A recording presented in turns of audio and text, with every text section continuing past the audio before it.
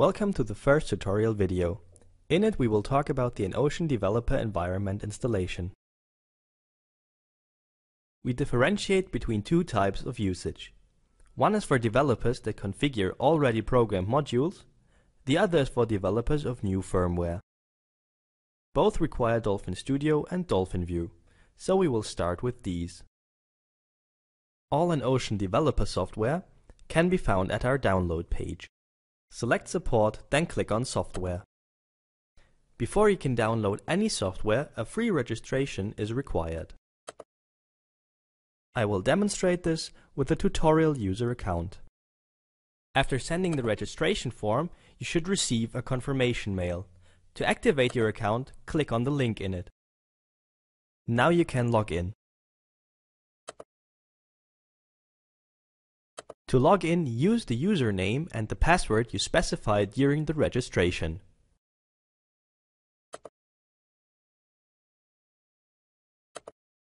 In the download area, you'll find more than just development tools.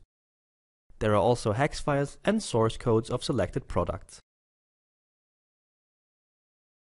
Dolphin Studio provides an interface for configuring program modules and setting the Dolphin API parameters. Dolphin View is a great tool for visualizing radio communication. Download both now. After the download has finished, start with the installation. Before installing, please disconnect all EnOcean programmers and hardware working with FTDI drivers. Let's start with Dolphin Studio. Both programs have a common installation wizard, which you might be familiar with. There is a license agreement and a what's new text file about new features and bug fixes. Please keep uninstalled previous versions checked. The installer also sets the global path variable to Dolphin Studio and installs the latest FTDI drivers. And we are done. Let's proceed to Dolphin View. Please note that Dolphin View requires .NET Framework 3.5. The installation wizard will prompt you to download it if you don't have it already. Now we are done with the installations. If you are not planning on developing your own firmware, you can skip this part. Otherwise, continue. To implement firmware, first return to the download page and also download the Dolphin API. Now install the last tool. The installation is similar to previous wizards.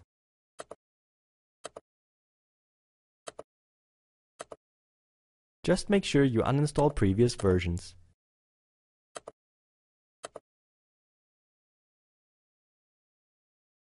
Since this is the latest version, you do not need to check for a newer one. Enabling the highlighting option will highlight Dolphin API functions in Keil. The highlighting is supported by Keil's ini file. This script will copy the EnOcean ini file.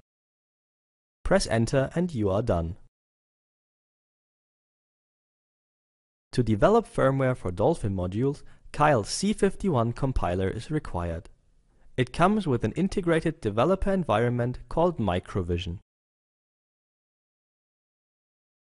As this is a third-party tool, please download it directly from Keil. You will require a license for the Keil compiler. Please read our knowledge base article for the licensing options and pick the most suitable option for you.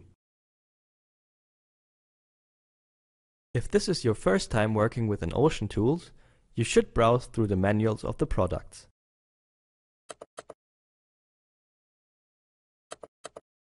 If you are planning on developing firmware, we strongly recommend that you read the introduction part of the Dolphin API manual.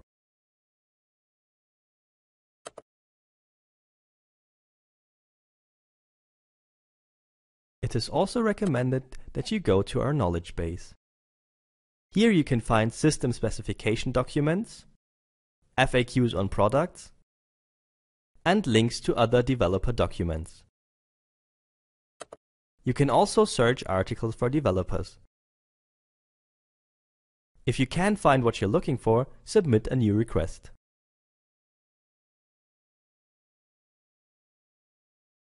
After installing either Dolphin View or Dolphin Studio, your system should have the drivers for the EnOcean programmer. Plug the programmer into a free USB port and you should see a similar message. It always depends on the edition of your operating system. It is important that you see a message confirming your programmer is being recognized and ready to be used. Otherwise, please reinstall the FTDI drivers. You can find help in the knowledge base. This concludes the first tutorial.